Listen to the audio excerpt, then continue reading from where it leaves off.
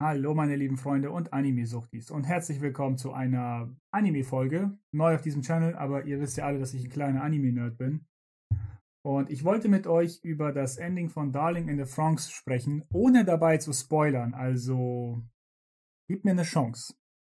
Darling in the Franxx äh, war ein Anime, der schwer zu vermeiden war, weil das Internet doch ziemlich hart kochte und wenn man sich auf gewissen Medienseiten bewegte, dann war das eigentlich immer präsent und auch das Fan-Artwork war eigentlich immer on top und äh, interessant gestaltet, so dass ich mich habe dann irgendwann breitschlagen lassen und mit der Serie angefangen, worüber ich jetzt im Nachhinein auch ziemlich glücklich bin, ähm, denn Darling in the Franxx fing erstmal nicht so geil an, für mich persönlich. Darling in the Franxx startete wie ein gewöhnlicher Mecha-Anime mit Kindern, die Riesenroboter steuern und ähm, die Zukunft der Menschheit liegt auf ihren Schultern. Bababa, tralala. Ähm, ich muss aber eine Sache vorher, vorher wirklich ansprechen, was, was sehr, sehr wichtig ist, von vornherein.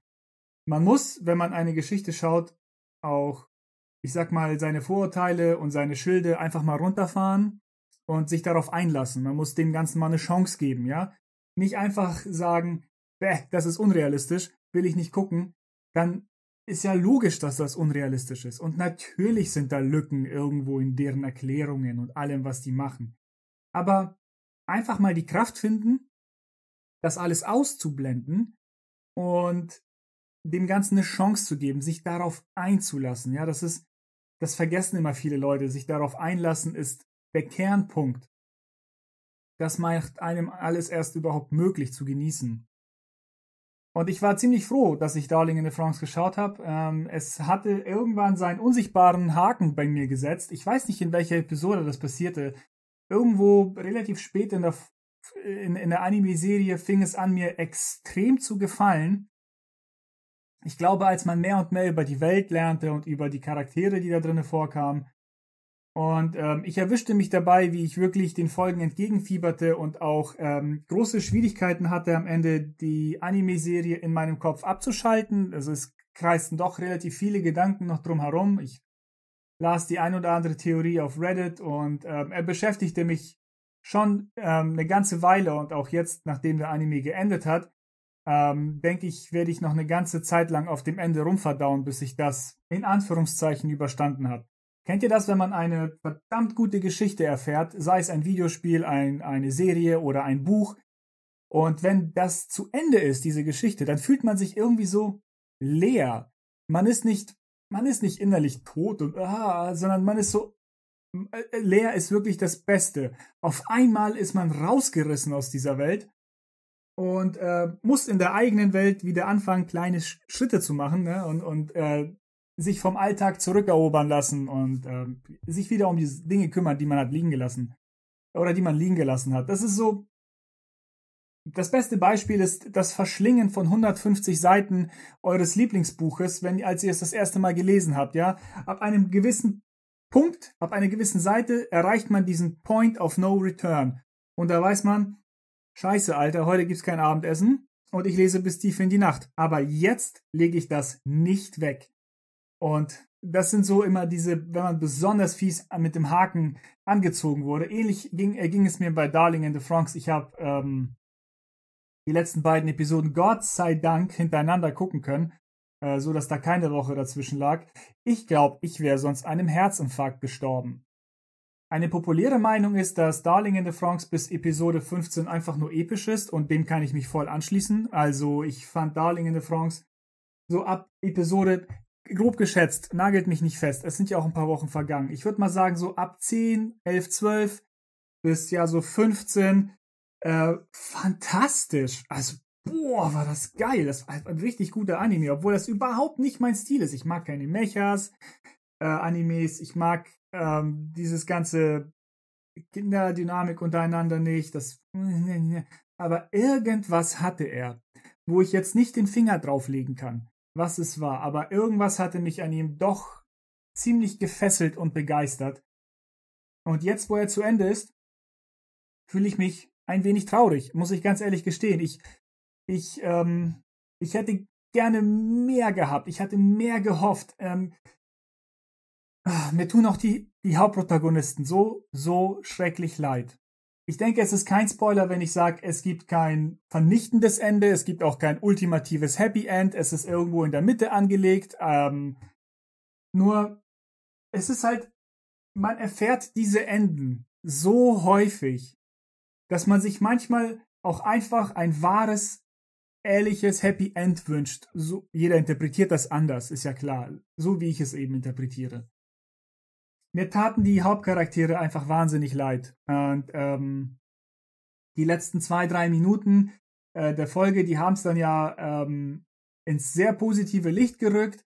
Mir persönlich nicht positiv genug. Ich verstehe häufig nicht, es gibt es auch immer wieder in Büchern und Romanen, immer dieses Main Character Bashing, ja, wo man das Gefühl hat, ich muss, ich denke gerade an ein ganz anderes Buch, aber da hatte man echt das Gefühl, der Autor hasst seine Hauptcharaktere, ja.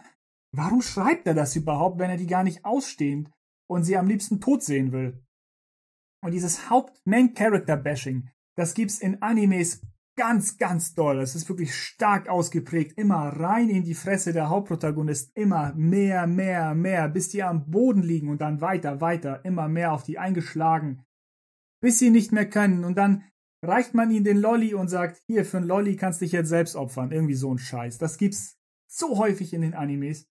Und Darling in the Franks ist daran äh, vorbeigeschrammt, aber schon mit, äh, mit fiesem Lack und Blechkontakt, sage ich mal. Und ach, mir, Mann, jetzt Spoiler. Wenn ihr das jetzt nicht geguckt habt, dann schaltet's jetzt aus. Das ist jetzt kein Scherz. Schaut euch den Anime an, wenn ihr irgendwas irgendwie in irgendeiner Form was für Animes empfindet. Aber schaltet jetzt ab. Ich gehe jetzt volle Granate auf die letzte Episode ein und was ich damit empfinde und verbinde. Schaltet's ab, wenn auch nur die geringste Chance besteht, dass ihr euch das angucken möchtet und kommt dann bitte wieder zurück. Okay, Freunde? Jetzt volle Granate Spoiler.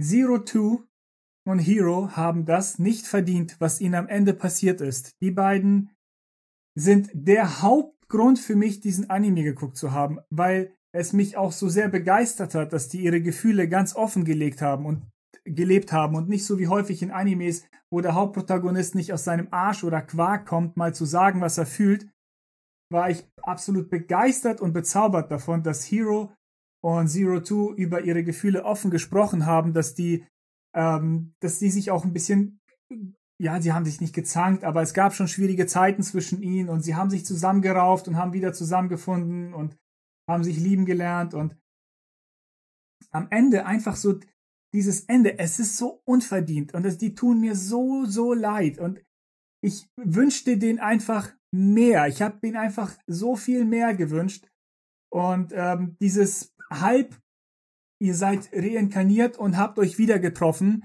Es fühlt sich nicht vollständig richtig an. Es freut mich ungemein, dass die beiden wieder zusammen gefunden haben aber sie haben ihre Freunde und ihre ganze Welt, für die sie gekämpft haben, verloren. Und äh, mich macht das einfach traurig. Ich weiß auch nicht. Das, äh, ich bin ja überrascht, dass mich das so weit getrieben hat, dass ich bereit bin, darüber ein Video zu machen.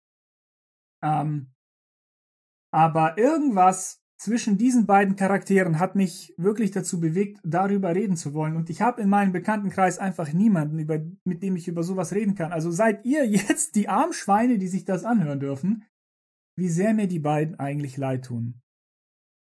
Und sie haben es gewusst. Sie haben es gewusst, dass das kommt. Und sie haben ihre letzten Momente aufs vollste genossen. Und das macht das Ganze noch trauriger. Sie wussten, dass das passiert. Und haben einfach die Minuten und Sekunden, die sie hatten, zur vollsten versucht auszuschöpfen. Das, meine Freunde, ist eigentlich noch viel trauriger. Ja, keine Sorge, ich werde jetzt nicht weinen. Aber sie tun mir echt leid. Sie tun mir echt leid. Ich werde diesen Anime nicht nochmal gucken. Ähm, oder vielleicht nur bis Episode 15 oder ausgewählte Episoden. Es gibt Animes, die ich liebe und mag, die habe ich mehrfach durchgeguckt. Darling in the Franks verkrafte ich nicht nochmal. Denn ich hatte ganz besonders für Zero Two was Besseres erhofft. sie, die kaum Liebe erfahren hat in ihrem ganzen Leben, opferte sich nachher für alle, nachdem sie dann erfahren hat, was Liebe bedeutet und was es bedeutet, für andere Sachen zu kämpfen, hat sie sich für alle geopfert und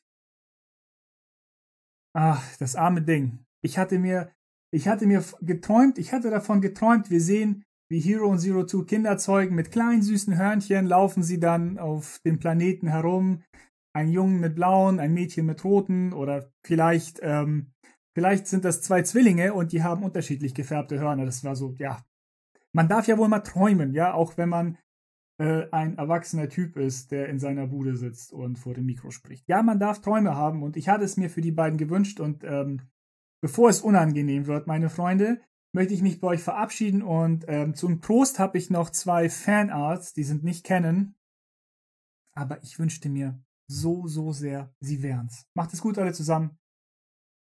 Bis zum nächsten Mal und ciao, ciao.